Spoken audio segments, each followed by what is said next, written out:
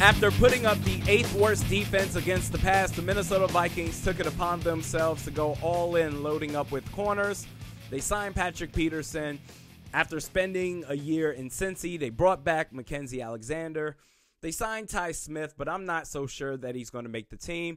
And they also signed most recently Bashaud Breeland, who has incredible upper body control with his arm extension. However, the ball is being thrown, he does a good job maintaining balance in his torso to make plays on the ball, especially in midair. Add those signings with Cam Dantzler, Harrison Hand, and Kris Boyd, and you may very well have six legit corners. And that's without factoring in Jeff Gladney, who may potentially not be available this season or perhaps ever again, depending how his case goes. I don't think I've ever seen anything like it, too. To have a cornerback group this deep, normally you sub in a second string guy for a play or two, or if it's no huddle and you have no timeouts, an entire series. Oh shit, just don't be too big of a disaster. You go from that to where, no, we actually have the luxury to sub in guys for the sake of presenting different looks to opposing offenses instead of, hey, this cornerback's tired, let's bring in CB4.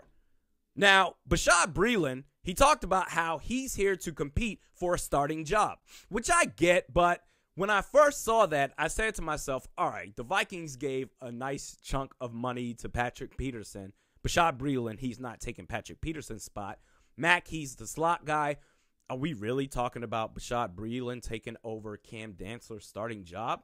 Which I hope not, because we're talking about a guy who had a strong finish to the 2020 season. You can't go from saying, all right, you were a starter your rookie year out of Mississippi State to saying, guess what's going to happen now? If you want this guy to develop, you need to give him starting reps to say, all right, now we're going to drop you in your second season. We're going to drop you to CB4. You can't do that. And considering Patrick Peterson, he's on a one year deal. Who's to say you keep him beyond next season unless he transitions to safety? Bashaud Breeland, he's also on a one year deal. Cam Dantzler, he's your guy. And considering your 2020 draft class, Ezra Cleveland, unless he bulks up and adds size to his frame to effectively play inside the offensive line, and with potentially Cam Dantzler taking a back seat in 2021, to then say if you're unable to keep Bashaud Breeland and Patrick Peterson in 22, never mind Cam, you're a starter again. Justin Jefferson, he's great. But after that, I just feel like with this draft class in 2020, the Vikings are creating unnecessary, may potentially be creating unnecessary challenges for themselves. Ezra Cleveland, the nail is in the coffin. He's playing left guard.